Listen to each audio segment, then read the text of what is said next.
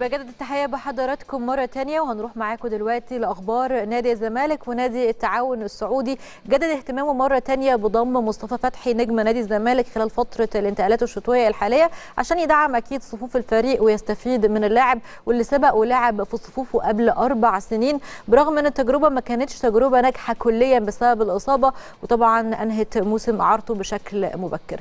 وبحسب تأكيدات مصدر جوه نادي الزمالك فإن إدارة الزمالك تتحفظ على فكرة إجراء أي تعاملات مع التعاون. طبعا بسبب ذكريات الرحيل السابق للفرنسي باتريس كارتيرون المدير الفني للفريق في ولايته الأولى بعد طبعا ما رحل بشكل مفاجئ عن الفريق قبل مباريات دور نصف النهائي من بطولة دوري أبطال أفريقيا عشان ينتقل بعد أيام قليلة جدا للفريق السعودي وسط غضب أكيد من مجلس الإدارة. كثفت كمان إدارة الزمالك من مفاوضاتها عشان يجددوا عقد مصطفى فتحي خلال ال 72 ساعة اللي فاتوا دول حتى لو وافق نادي الزمالك على عرض التعاون في أي لحظة سواء بقى إعارة أو بيع نهائي يكون جدد عقد اللاعب ويقدر إن هو يحقق منه استفادة مادية كويسة من بيعه أو إعارته زي ما قلت لحضراتكم.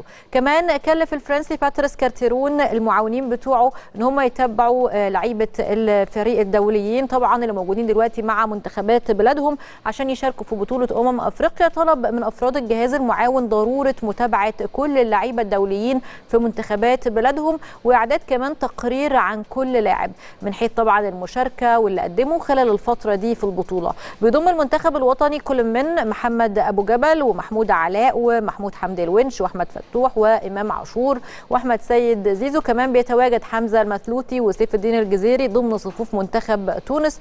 كمان وجه الجهاز الفني قائمه من التحذيرات للعيبه الفريق المحليين عشان يحافظوا على لياقتهم البدنية والحالة الصحية أكيد خلال فترة الراحة الحالية واللي بيخضع عليها اللعيبة لغاية يوم 5 يناير الجاري في ظل توقف الدوري لمشاركة المنتخب الوطني في أمم أفريقيا. كان الزمالك حصل على راحة لغاية يوم 5 يناير اللي جاي وهيستأنف بعد كده الفريق تدريباته من يوم 6 يناير بعد إلغاء معسكر الإمارات.